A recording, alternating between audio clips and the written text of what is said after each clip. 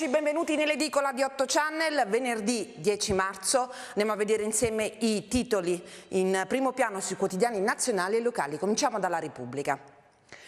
Il governo si è fermato a Cutro.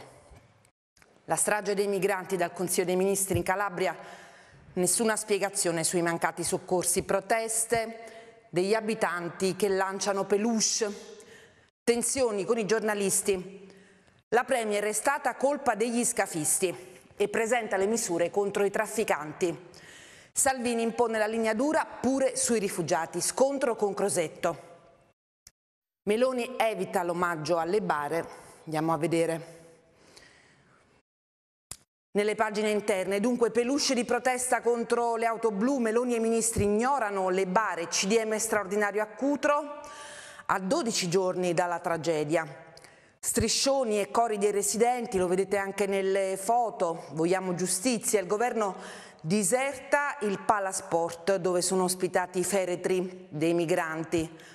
Prima contestazione per la Premier, scritte contro piante dosi. Solo in serata poi Palazzo Chigi annuncia l'invito ai familiari a Roma.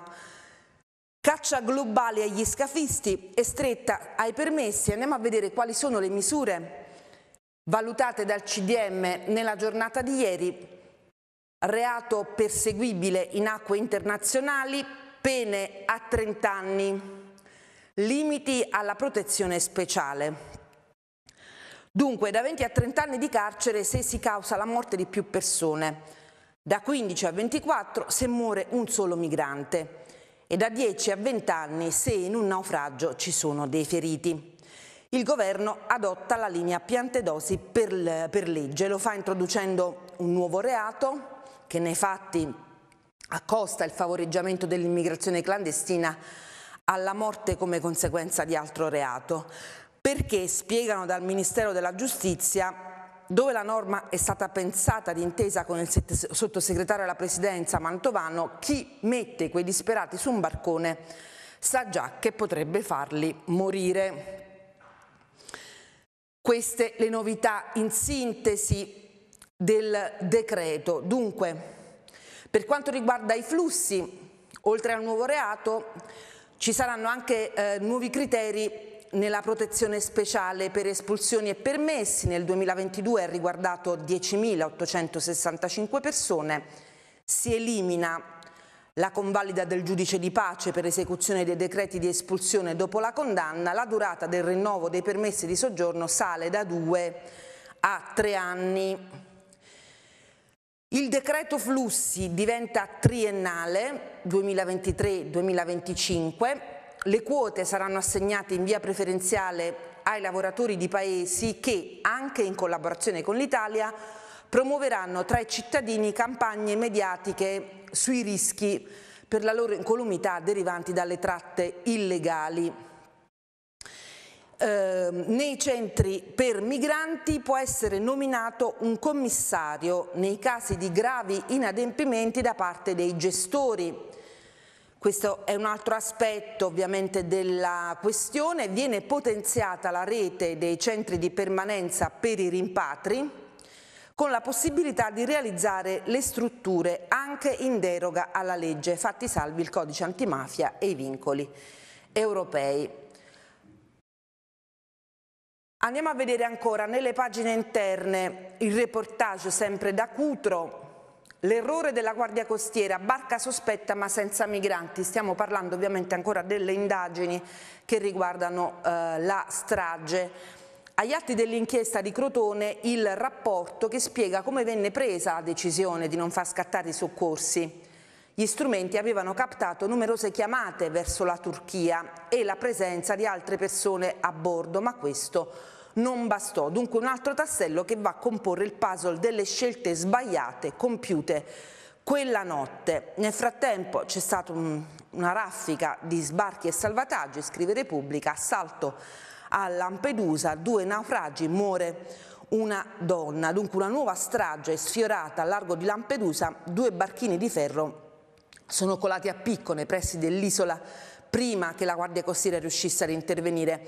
58 sono stati salvati, ma per una donna i soccorsi sono arrivati troppo tardi.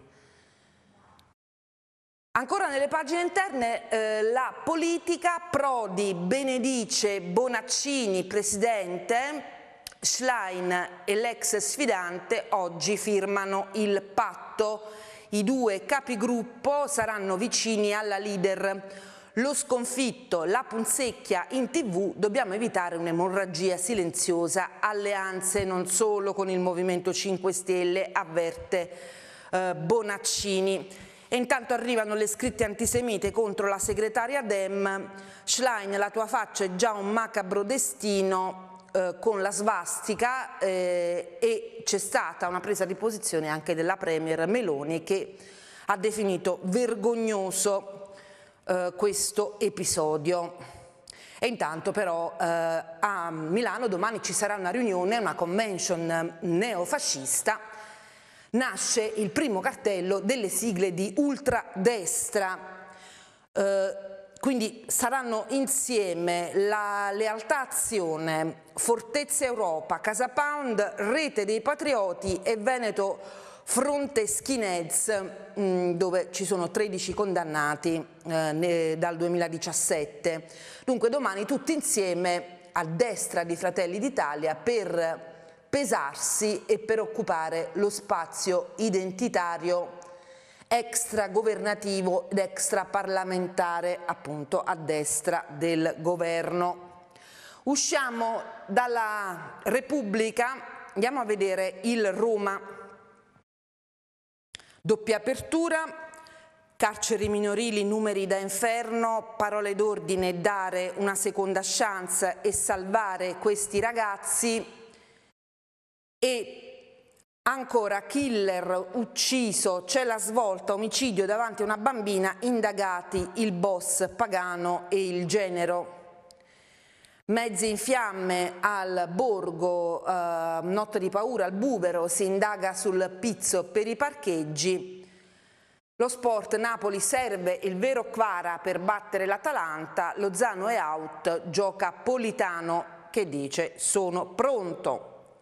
In prima sempre sul Roma, autonomia e sanità, sarà guerra a oltranza, De Luca ancora eh, sui tagli alla sanità pubblica dice non c'è un euro, poi al Cardarelli intanto va deserto, il concorso per i tecnici si presenta solo il 17%.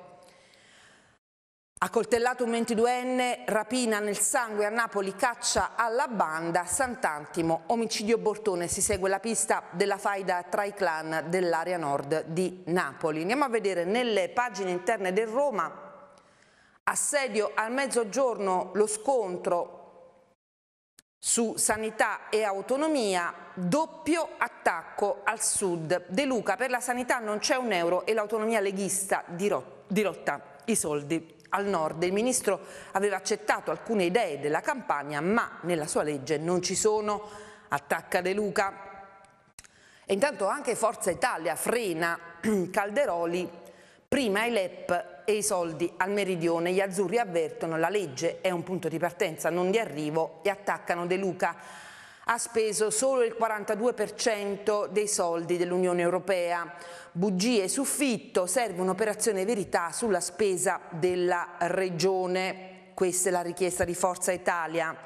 A Napoli intanto gli stati generali delle regioni del sud Accordo INPS Campania, progetti PNRR, mancano i soldi per assumere medici e infermieri, tagliata la burocrazia per i bimbi disabili.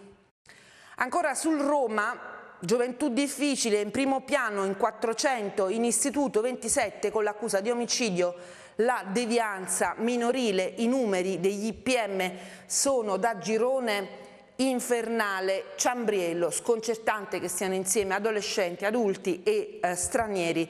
Dunque i ragazzi rispondono quando gli diamo cose concrete, sono queste le parole degli addetti ai lavori durante la conferenza che si è tenuta ieri eh, nella sala Nassiria del Consiglio regionale della Campania per la firma del protocollo tra il garante delle, dei detenuti eh, della regione Samuele Ciambriello e il dirigente del centro di giustizia minorile eh, Pino Centomani che il tema della devianza giovanile stia occupando vari tavoli istituzionali è evidente soprattutto a causa dell'impennata dei numeri evidenziati dal garante regionale. Al 15 dicembre, dice Ciambriello, 6.400 giovani campani sono al servizio sociale minorile, 400 sono detenuti nei 17 istituti penali minorili nazionali di cui 201 minori stranieri, 57 sono a Nisida e 37 a Dairola. Numeri davvero eh, importanti. Il maestro di strada Moreno, Cesare Moreno, ancora sul Roma, il linguaggio fa dei giovani un popolo separato. Don Mario Di Maio chiama a raccolta le forze positive della società per, per creare un ponte di ascolto verso i ragazzi. A Castellammare di Stabia c'è stato il confronto. Ancora sul Roma ehm, andiamo a vedere nelle pagine interne della campagna siamo a Baiano, morto in attesa dei soccorsi, l'ASL si difende, la ricostruzione ufficiale dell'intervento per un 53enne e il ricorso alla magistratura per svelare la verità. Potrebbe partire un esposto per chiarire la dinamica dei fatti in relazione alla morte del 53enne di Baiano stroncato da un infarto in attesa di un'ambulanza. Bisogna fare luce sull'accaduto, è assurdo morire così, aveva chiesto il consigliere regionale Enzo Alaia, il presidente dell'Ordine dei Medici Sellitto denuncia giusto che la magistratura faccia le, le opportune indagini ehm, ma c'è da dire che il personale del 118 è perennemente sotto organico. L'ASL con una nota fornisce la propria versione. A seguito di quanto riportato dai mezzi di informazione L'azienda smentisce il ritardo di 98 minuti di tempo per l'arrivo dei soccorsi eh, l'ambulanza infatti è stata allertata dalla centrale operativa all'1.15 ed è partita all'1.16 dopo 28 minuti, era già sul posto, dice l'ASL, fa fede l'orario della telefonata inoltrata al 118. Dunque adesso insomma sarà la magistratura a verificare le varie versioni per capire che cosa è accaduto. Sempre nella stessa area dell'Irpigna ma a Pago Vallo Lauro cade dal camion e muore un 61enne, l'operatore ecologico era intento alla raccolta dei rifiuti.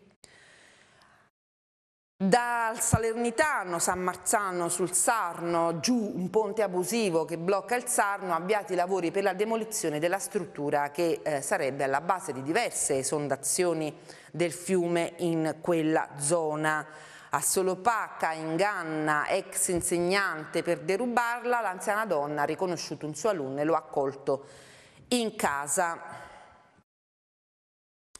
A Napoli, staffisti, revocato l'incarico a 5 Granna, ricorderete la polemica per l'assunzione degli staffisti a Palazzo San Giacomo, San Giacomo, mancavano i requisiti di base ma non si placa la polemica all'interno di Forza Italia, arriva un'interrogazione parlamentare sui nove collaboratori e sui criteri adottati per le nomine. Ancora sul Roma, partito nel caos, stiamo parlando di Forza Italia, volano gli stracci, Guangi e Savastano litigano anche con Patriarca, ormai isolati si appellano a, Berlusconi.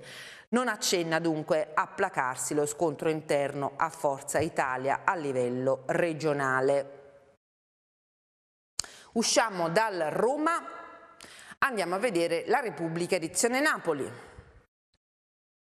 La viabilità in primo piano, paralisi del traffico in centro, il comune corre ai ripari, tempi veloci, cantieri ridotti, Ancora file ingorghi da via Colombo al municipio a via Acton, l'assessore Cosenza adotta i primi correttivi, vogliamo attenuare l'impatto, i vigili, noi pochi e in mezzo allo smog. Concorso disertato al Cardarelli in aula solo il 17% dei candidati. Alle prove per geometri e tecnici informatici partecipano in 115, il direttore generale dice non ce lo aspettavamo, Napoli vietata ai 2500 ultra tedeschi, assurdo pronti al ricorso, dicono eh, i tedeschi, arriva la eh, protesta, striscione esposto dai tifosi del Bayern. Contro il ministro Piantedosi. Ancora a piede pagina, Mattarella sulla tomba di Don Diana, la visita il 21 marzo in Campania a Casal di Principe.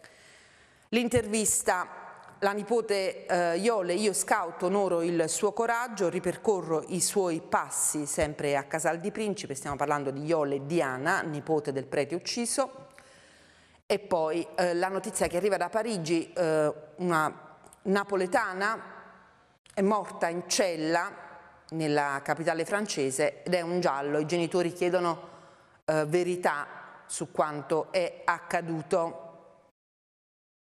Primo piano tutto sulla viabilità. Tassa d'imbarco, il comune, il ricorso GESAC ci complica la vita.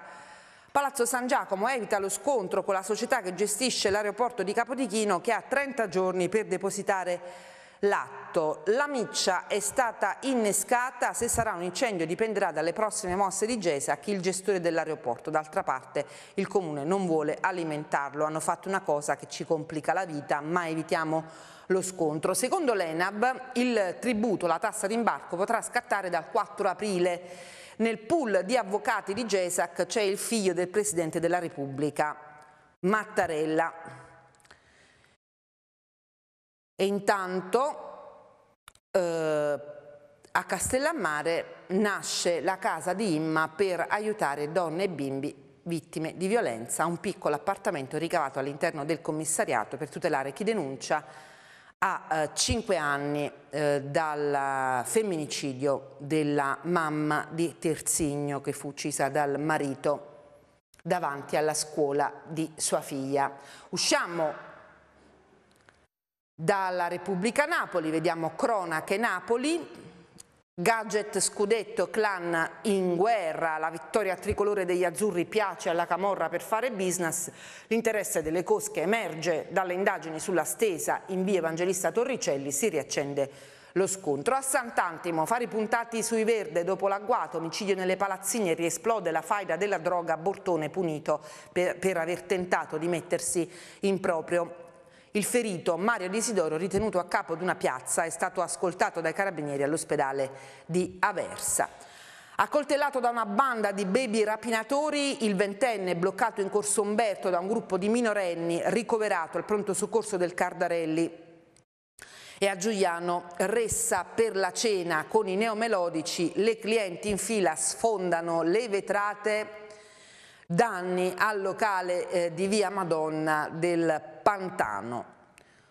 Vediamo adesso cronache di Caserta. Muore in ospedale dopo l'operazione e l'apertura da San Felice a Cancello il 37enne di San Marco Trotti eh, trovato senza vita al Cardarelli dove era stato operato ai reni. I familiari hanno presentato una denuncia e la procura ha disposto il sequestro della salma.